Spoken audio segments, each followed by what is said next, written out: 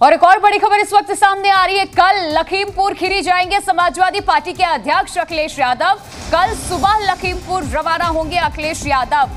तो अखिलेश यादव भी लखीमपुर खीरी रवाना होंगे कल सुबह और जाकर के पीड़ित परिवार से मुलाकात करेंगे।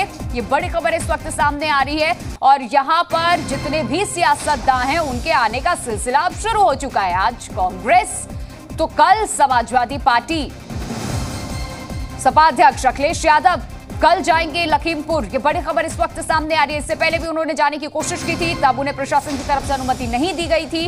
रोक दिया गया था लखनऊ में ही। और किस तरीके से समाजवादी पार्टी के कार्यकर्ताओं ने हंगामा किया था यह भी हमने देखा था। प्रशासन के साथ बदतमीजी धक्का मुक्की की भी तस्वीरें सामने आई थी। इंस्पेक्टर के वर्दी तक को फाड़ दिया गया था। अब यह खबर सामने आ रही है। कल सपा अध्यक्ष जाएँगे लखीमपुर खीरी।